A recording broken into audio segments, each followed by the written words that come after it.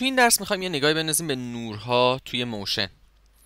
توی Motion ما چهار جور نور داریم spot، point، directional و ambient خب از spot من شروع می‌کنم به توضیح دادن و ببینیم که این نورها چطوری توی Motion کار می‌کنن. نور spot ما دقیقا همونطور که ازش برمیاد یه نور spot light ه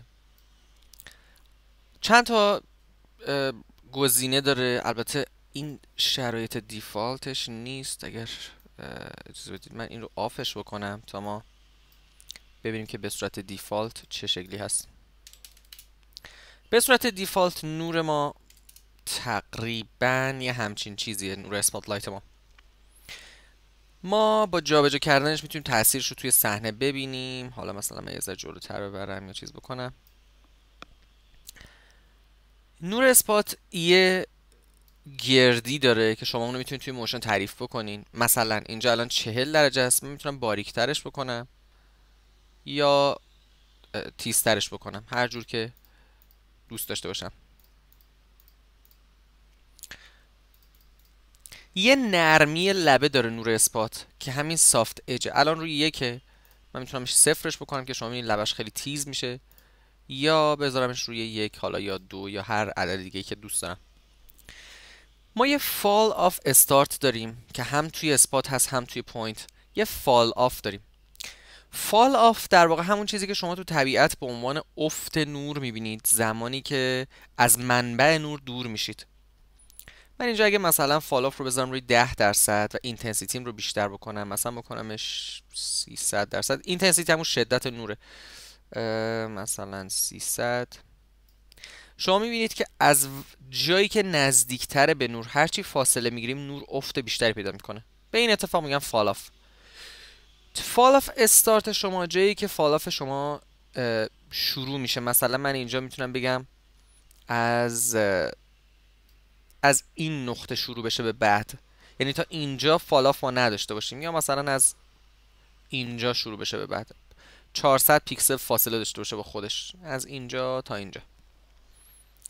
همونطور که شما می‌بینید خیلی اینجا شدت نور زیاده ولی هرچی عقبتر میره کمتر میشه. من اگه falloff رو یه خورده بیشتر بکنم این قضیه خیلی بیشتر به چشم میاد. شما falloff رو هر چقدر بالاتر ببرین افت نور شدیدتر میشه. مثلا falloff 100 درصد خب کاملا مشخصه که 100 درصد واسه ایجاد افت نور میشه. من حالا اینجا می‌تونم یه مقدار نورم بالاتر بیارم تا شما کاملا این موضوع رو ببینید یکی از دوستان یه بار از من پرسید که توی Motion یا تو حالا هر composition توی هر برنامه کامپوزیت دیگه After Effect یا حالا هر چیزی من کی نیاز دارم که از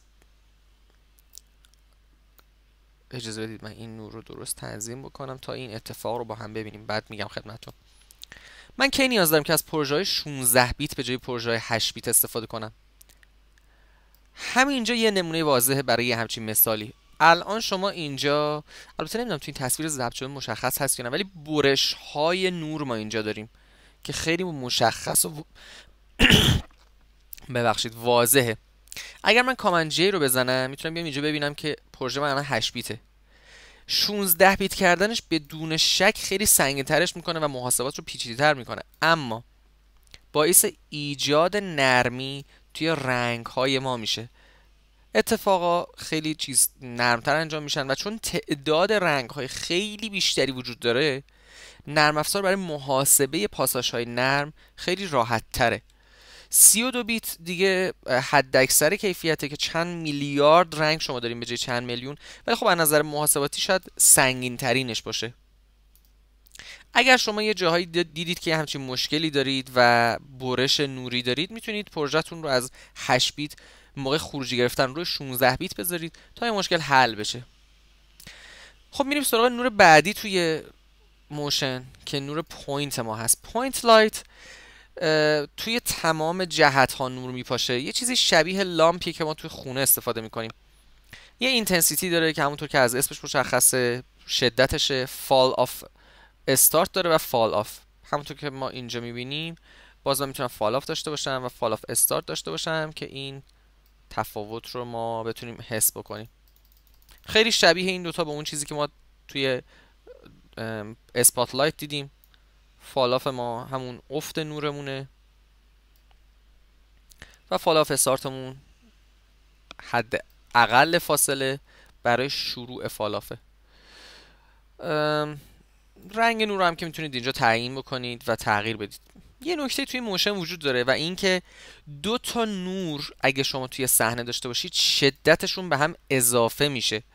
یعنی جایی اگه خیلی نور خورده باشه عین دنیای واقعی و عین اتفاق طبیعی که هست اگر یه جایی رو شما خیلی بهش نور بدید over expose میشه و در واقع حالت additive دارن نورها توی Motion.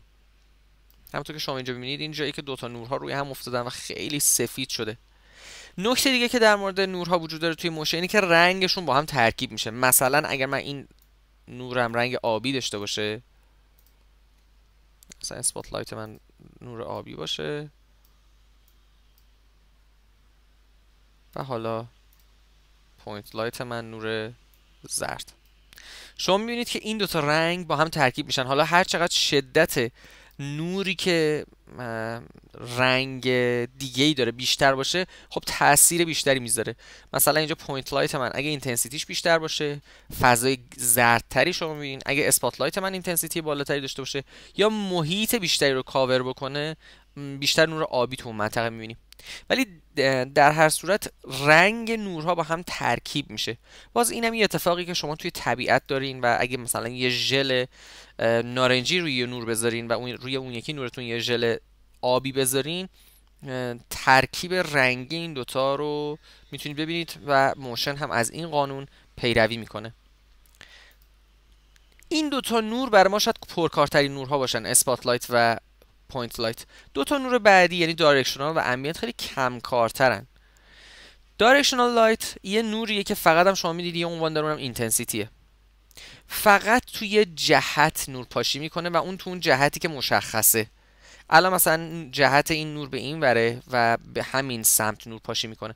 من اگه جهتش رو عوض بکنم مثلا بیارم این جهت بگیرم شما می‌بینید که فقط توی همین جهت دوباره نور میده.